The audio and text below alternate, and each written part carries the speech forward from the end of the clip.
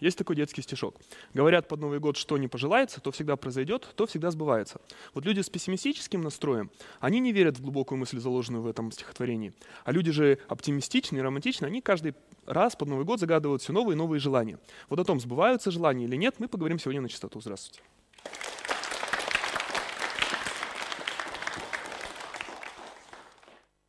Сегодня о новогодних желаниях у нас будут рассуждать студенты и эксперты. Позвольте мне представить наших экспертов.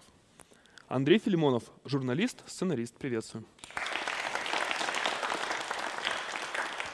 Константин Ивашков, организатор детских праздников. Алия Халелова, визажист, консультант по стилю, агентство «Женуя». Адлет Джумабек, КВНщик, Бас Productions. Приветствую. Лана, скрипачка, светская львица.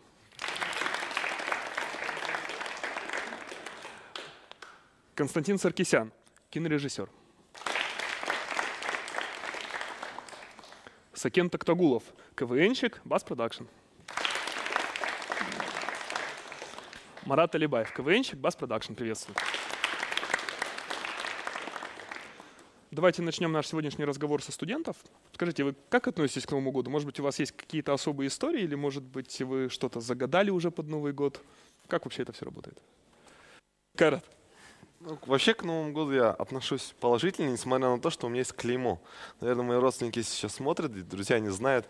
Начиная с 2002 года, где бы я ни праздновал праздник, будь это гостиница, дача родителей, родительский дом, либо я у подруги, новогоднюю посуду 1 января, сегодня утром тоже я, мою ее я почему-то. Кто бы ни был и с кем бы я бы не праздновал, утром 1 января я беру фейри, губку и всю посуду за всех я мою, пока все спят. Кара, чем вы объясняете судьбу такую? Я, я не знаю. Я вот все остальное время я никогда не мою посуду. Наверное, тут мне такое наказание, да, вот то, что я теперь как, как, каждый год буду все-таки мыть. А по поводу желания, мне кажется, по поводу желания это, это действительно праздник, где надо желать не только себе, надо быть эгоистом, всем окружающим, близким, знакомым, родным. Чтобы они тоже посуду мыли. Нет, не посуду мыть. Зачем? Я вот такого никогда не хочу никому пожелать. Чтобы, знаете, меньше посуды было грязной 1 января, да? Меньше посуды. Меньше с этим, а, меньше болезней, меньше ссор, меньше финансовых кризисов. А еды, еды побольше, еды побольше. Ты не загадывал желание, чтобы ты постоянно мыл посуду? Если найдутся в зале такие люди... Ну ты загадай на этот Новый год, то есть э, ты уж загадал? Я Что заг... ты загадал? Я загадал, чтобы следующий год, 2011, я был не Чтоб у раковины. не мыл, да. да, посуду? Нет, Машину есть, самом Машину деле, друг- Другая версия. Машину Вот мыл отца, тот, да? тот, кто верит, что под Новый год желания сбываются, вот он загадал, чтобы вы мыли Это желание, посуду. да. А хочешь решить эту проблему, чтобы ты не мыл? А, вы дадите свой номер? Я вас буду звонить 1 числа. Нет, нет, женись просто. Действительно, все так просто. Вот настоящие казахские мужчины. Да, женись и э, посуду будет мыть жена. А разве жена для этого? У настоящего мужчины, запомните, молодые люди, у настоящего успешного мужчины жена – это визитная карточка вашей успешности. Она посуду не будет... Он нанимает людей, которые моют посуду. Ясно. Ну, что вы думаете еще про Новый год? Сказать, что это один из моих самых любимых праздников, потому что это семейный праздник, и для меня это время, когда у меня есть возможность поехать к моим родственникам э, в курорт Паровое и встретить там, увидеть своего дедушку любимого, бабушку, увидеть своих родственников, для меня это имеет огромное значение. Вот, я бы для начала хотела всех поздравить уже с наступившим Новым годом, пожелать, чтобы в этом году э, э, решились какие-то проблемы. Ну, в общем, все типично, чтобы все было лучше в этом году, чем было в прошлом. Ну, Вот для меня это семейный праздник. Оливье, шампанское, Да. поздравление Все президента. мы, мы- м, бабушка очень хорошо готовит, мы собираемся всей семьей, стол просто валится, мы все дружно наедаемся, потом смотрим поздравления президента, потом катаемся на горках и как-то так, потом все дружно спят. Кайрат, Я бы, знаете, хотел бы поменять немножко тему в ракурсе традиций. Салюты, желания в шампанском, мандарины. И Еще так была такая традиция, я не знаю, вот у нас был один спикер, а, она язык, она язык, язык обычно зимой он рассказывал сегодня, чтобы я попросил, ос- осветил всех казахстанцев. На Новый год, новогоднюю ночь, после 12 она выходит, находит самую холодную железку, любую, труба, качели, там, скамейка, и язык прикладываю туда на пару минут. Оба-на. И чтоб и резко надо оторвать. Но оторвать так, чтобы кусочек языка там немножко остался. А если целый язык Нет, останется? понятно, что он это сделал в прошлом году, поэтому не смог присутствовать. Ну, за, за кого попросили осветить эту историю? Вот. И тут у нас много, Максим, очень интересных людей, которые связаны да, с шутками, с традициями, с организацией праздника. И мне хотелось бы узнать, может, у вас какие-то есть традиции, чтобы немножко обновить Новый год, что ли, извините вот за, за такую форм- формулировку. Ну, как-то Ну, в очень смысле, из года в год вопрос, скучно да? стало. Вот Кайрату скучно прикладывать язык, мыть посуду и так далее, да? Что ему Может, сделать, чтобы было новое, да. весело?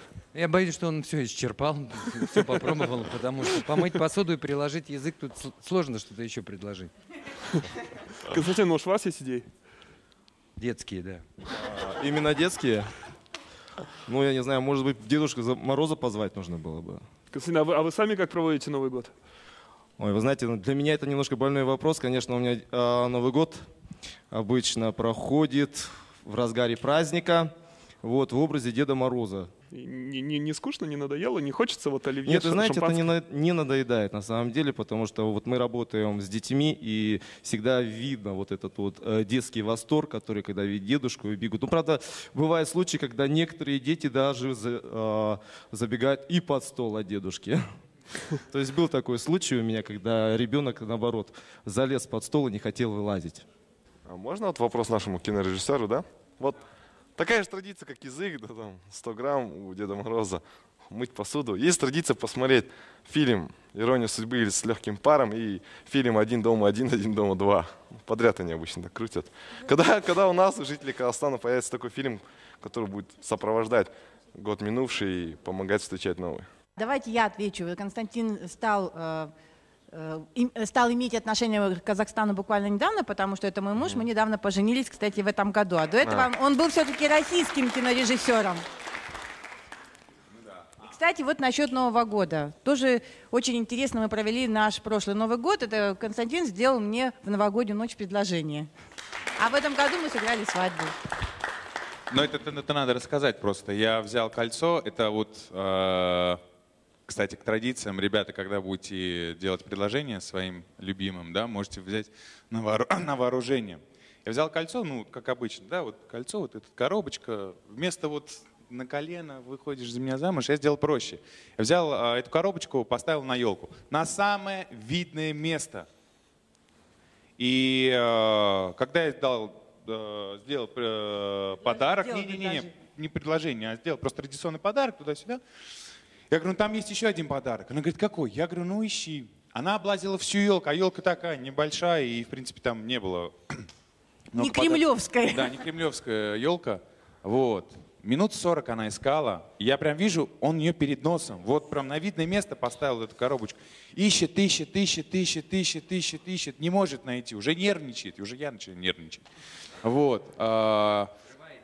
Да, праздник-то срывается, время идет, сейчас должен президент говорить речь, а она все никак не может найти свое счастье на елке. Вот, в итоге где-то через час она все-таки нашла эту коробочку, открыла. Вот, это, наверное, был самый дорогой подарок. Да, это не только год. самый дорогой, это самый ценный, самый долгожданный. Да, есть еще одну традицию я придумал. а, Это вот, кстати, к вопросу, да, к твоему. А, Я вот придумал такую вещь а, и предложил то желание а, запустить. Вот пишите желание, да, вот вы обычно говорите на Новый год, там, Деду Морозу, а вы пишете желание на листочке, из этого листочка делаете там а, самолет. Да, благо у вас есть горы. И все дружно поднимайтесь на Медео и запускайте эти самолеты. Представляете, сколько самолетов вспорят Долететь над- к паркингу Медео, да? да, да, да, Да, да. Вот, вот такую вот наивную традицию придумал. Хотела поблагодарить Константина в том плане и поставить как бы его примером. Хотела пожелать молодым парням не терять вот э, ту долю романтики и делать вот такие сюрпризы, делать какие-то приятные вещи для своих дам. И не обязательно жениться, чтобы жена мыла посуду. Кстати, я Поэтому- абсолютно Да, согласна. поэтому правильно Лана сказала, что жена это визитная карточка ваша. Как выглядит, как э, вообще, как ведет ваша жена себя в обществе, это большой плюс э, вам, мужчины. Поэтому хотела сказать, не теряйте долю романтики и делайте хорошие и приятные Вот сюрпризы своим дамам. да? Осчастливьте нас, и посуду мы будем вам мыть добровольно с любовью. Арман, я знаю, было особое мнение, да, по поводу Нового А, года? Ну, как бы, прежде всего, хотелось бы поздравить всех с наступившим Новым годом, пожелать этот год прожить со счастьем, здоровьем, любовью.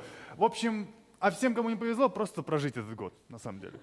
А, вот, ну, а на самом деле для меня вот Новый год с ранних лет, с детства, это два, а то и три дня подготовки, усиленные уборки, закупки всего, э, закуски, да, тоже подготовки, там, салатов различных, и пять часов счастья. Вот это для меня. Вот начиная с 10 часов, кончая трех часами, когда уже первые начинают засыпать люди, храпят, их укладывают, э, их э, на- на- накрывают пл- пледами. И, в общем, но не каждому, естественно, повезло так провести э, Новый год. А, вот, допустим, я хочу рассказать историю моей однокурсницы. Дело в том, что она живет в Уральске. Но учится тут, в Алмате. А, ну, как вы поняли, одна моя однокурсница, я учусь в политехе. И последний экзамен у нас был 29-го. А по- поезда в Уральск идут по, по четным числам. И поэтому она могла уехать только 30-го. И то есть она приезжала в Уральск уже только 1 числа. И чтобы не встречать одной в поезде э, Новый год, мать ей выехала навстречу. И они встретились на одной станции и вместе в одиночку в, э, во всем, во всем Вместе в вагоне, одиночку? э, ну, вместе, ну, если в, в- в одном поезде, э, одни в, одном, в этом вагоне встречали Новый год, э, э, проезжая по заснеженным просторам. Я считаю, это очень красивый на самом деле Новый год, который не, не был проведен дома. Вот. И, ну, хотелось бы задать вопрос, пожалуй, у всех, э, не только у экспертов, также и у моих уважаемых соцспикеров. А как вы вот провели э, Новый год не дома, но в каком-либо другом месте? За- Заносила ли вас судьба? Э, У меня была одна история, она непосредственно связана с проведением. Я был в качестве, ну не помню, может быть, Дед Мороза даже, да. Мы проводили елку, и в 11.15 а, нас усадили в автобус, который должен был всех нас развести. И а, буквально 2-3 еще участника нашего представления были развезены, и автобус поломался. Это было без 15-12 в центре города. И мы стали э, смотреть, что у кого есть, конфеты. То есть вот эта компания, э, Новый год был встречен в компании, в которую я даже не предполагал. Но он нас настолько объединил, и находясь пазик такой, автобус, э, мы достали шампанское, достали конфеты, и было э, на самом деле такое огромное ощущение радости, потому что Понятно, что мы стремились каждый домой, попасть э, за свой стол там, к своим родным и близким, но как-то мы стали такими очень родными и близкими людьми, и там, я не помню, аккумулятор, бензин, по-моему, кончился. Вот, а, было поставлено радио, и мы еще минут 30 сидели, а, пока а, значит, с этой же организации не прислали другие машины, которые нас развезли. И вот этот Новый год э, из 40 моих встреченных, скажем так, вот запомнился наиболее. Просто нужно, наверное, не бояться, э, как сказать, вот этих новогодних всяких приключений. И если ты не боишься, то непременно тебя м, какое-нибудь приключение обязательно произойдет. Просто нужно быть открытым, наверное. Ну, такая история. Я полностью согласна с Андреем. Да, А, аплодисментов не было. Действительно, а, Новый год происходит так, по тому сценарию, по которому ты сам себе написал. Я вот, например, лично я очень верю вот эти маленькие ритуалы и даже в жизни их исполняю, но особенно я верю в эти новогодние ритуалы на исполнение желаний. И вот один из таких м, ритуалов мы сделали у моей подруги, все собирались э, достаточно яркие люди, это э, Жандарбек Сарсибаев, да, телеведущий, Алексей Джен, Казахстан Fashion Week. Вот.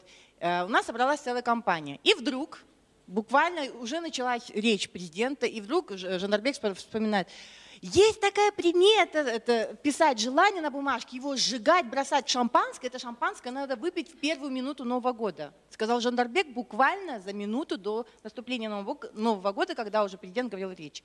Что мы начинаем? Мы сначала начинаем судорожно искать бумаги, судорожно искать ручки, потому что компания-то ну, так, ну, не, не очень большая, но приличная, всем же надо написать. На- нашли бумажки, написали, тут же надо ее сжечь. Начали сжигать, практически чуть ли не подожгли дом. Э, В итоге сожгли, насыпали вот этот пепел в э, бокалы шампанского. Все это происходило, я подчеркиваю, в течение одной минуты. Шампанское оказалось какого-то жуткого цвета, такого серо-бурмалинового, с таким А, вкусное неприятным... хоть было? Я вкус, я сделала хитро. Я налила чуть-чуть шампанского. Во-первых, я И много не пепла, очень да? люблю алкоголь. Да, я налила чуть-чуть шампанского, залила пеплом, и у меня одним глотком с выпущенными глазами, с Новым годом, все кричат на улице, все хлопушки хлопают, президент закончил речь, и там началась музыка. Я этот быстренько глоток, смотрю на своих друзей, которые эти глотки делают, которые по, пол- по полному бокалу налили. Вот что самое смешное, когда, кстати, мое желание исполнилось, потому что я познакомилась со своим э, сегодняшним мужем, да, встретила свою настоящую любовь, свою половинку. Когда я спрашиваю у своих друзей, ну что, ваши-то желания исполнились?